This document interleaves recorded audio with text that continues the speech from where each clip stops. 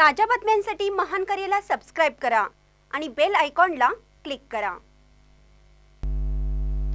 गेली अनेक वर्षापासून सुळकुड योजना मंजूर होऊ नये या कामी दूधगंगा नदीकाठच्या जनतेने विरोध दर्शवून अनेक गावात निषेध व्यक्त करून तीव्र आंदोलन छेडूनही यासाठी मोर्चेही काढले होते.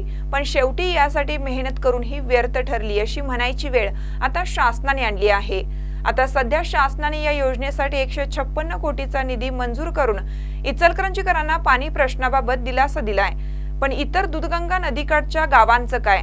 हा प्रश्न नागरिकांना उद्भवल्याने एका दिशेस हसू व एका दिशेस आसू अशी संभ्रमावस्था निर्माण झाल्याचं दिसून येते शासनाने दूधगंगा नदीकाठच्या नागरिकांच्या पाण्याचा गोट काढून घेऊन महाराष्ट्रातील व कर्नाटकातील कुन्नूर कारदगाव बोरगाव बारवाड एकसम बामलिकवाड सदलगाव अब्दुल्लाट शिवनाकवाडी कोसरवाड दत्तवाड नवे दानवाड व जुने दानवाड अशा अनेक गावांवर शासनाने अन्याय करून सुळकूड योजना मार्गी लावण्याचं काम तहानलेल्या इचलकरंजीकरांना या शासनाने मंजुरी देऊन त्यांची तहान भागवत आहे.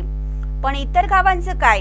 एकूण पंधरा गावांना बारमाही मिळणारं पाणी आता पुढील उन्हाळ्यात इतर गावांचा पाणी प्रश्न कोण मार्गी लावणार? असाही प्रश्न जनतेतून उमटत आहे. ही गंभीर बाब शासनाच्या लक्षात असूनही दूधगंगा नदीच्या नागरिकांचा दिशाभूल करून या योजनेला मंजुरी दिल्यानं दत्तवाड दूधगंगा बचाव कृती समिती व अनेक गावांनीही ही योजना कुठल्याही परिस्थितीत आणून पुन्हा एकदा तीव्र आंदोलन छेडण्याचा इशारा कृती समितीला देण्यात आलं. वास्तविक दूधगंगा काळंबवाडी धरणातील एकूण पाणी साठ्यातील पाणी वाटपाची दिशाभूल करणारी आकडेवारी समोर करून ही योजना पूर्ण झाली तरी दूधगंगा नदी काठाला पाण्याची कमतरता भासत नाही.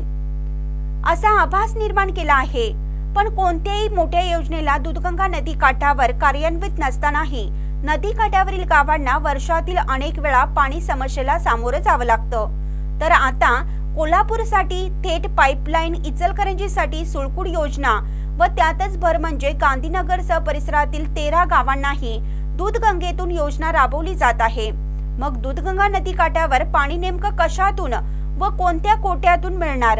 यासाठी पुढील उन्हाळ्यातील पाणी प्रश्न डोळ्यासमोर लोकांच्या समोर उभा राहत आहे. शासनानंही राजकीय हितासाठी एकतर्फी निर्णय घेऊन इचलकरंजीकरांना दिलासा देऊन दूधगंगा नदीकाठच्या जनतेची घसा कोरडा पाडला. ही गंभीर बाब लक्षात घेऊन सुळकुड योजनेसाठी महापालिकेला निविदा प्राप्त करून ही योजना मार्गी लावण्याची घौडदौड सुरू ठेवण्याचा प्रयत्न या योजनेतून चालू ठेवण्यात येणार आहे. यासाठी दूधगंगा नदी काठावरील महाराष्ट्र कर्नाटकातील अनेक गावात तीव्र असंतोष निर्माण झाल्याचं चित्र स्पष्ट दिसून येत आहे. महानकरी न्यूजसाठी संजय सुतार दत्तवाड.